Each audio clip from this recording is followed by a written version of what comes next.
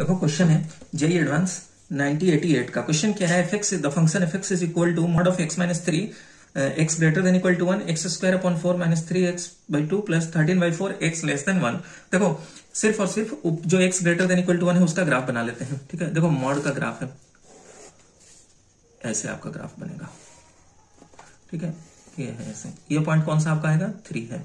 ठीक है? लेकिन ये क्या कह रहा है? X greater than equal to one पे। तो वन पे आपका यही होगा। ठीक है वन पे कितना वैल्यू अटेंड करेगा? टू तो आपका graph x greater than equal to one पे कह रहा है तो इसका मतलब ग्राफ सिर्फ़ यहीं से आएगा, ऐसे नीचे और ये। ठीक है? बस इतना ही पोर्शन हम कवर करेंगे। और उसके पीछे वाला एक्स लेस देन वन के लिए क्वाड्रेटिक वाला ग्राफ कंसिडर लेकिन ग्राफ हम उसका बना नहीं रहे।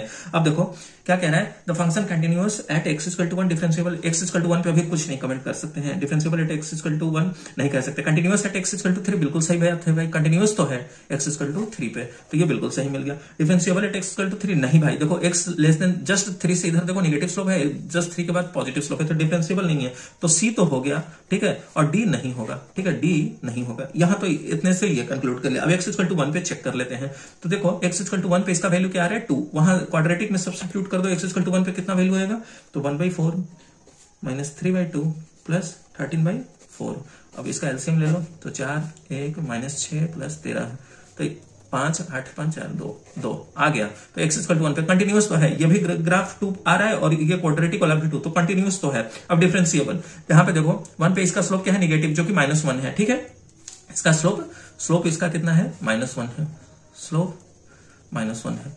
क्लियर अब इसका चेक कर लेते हैं। क्वाड्रेटिक वाले का डिफ्रेंशिएट कर दो। Two x by four minus three by two अब सब्सटीट्यूट कर दो। एक्स इक्वल टू वन तो जैसा ही सब्सटीट्यूट करेंगे तो one by two minus three by two is equal to minus one तो ये देखो, दोनों का स्लोप बराबर है। इसका मतलब कहने का मतलब कि ये डिफरेंशिएबल भी है at x equal to one पे। तो कौन कौन सा ऑप्शन हुआ? ए बी और सी ए भी है भाई कंटिन्यूस भी है, क्योंकि दोनों का वैल्यू वन यहाँ पे टू आया, और डिफरेंशिएबल भी है, क्योंकि दोनों का स्लोप माइनस वन आया।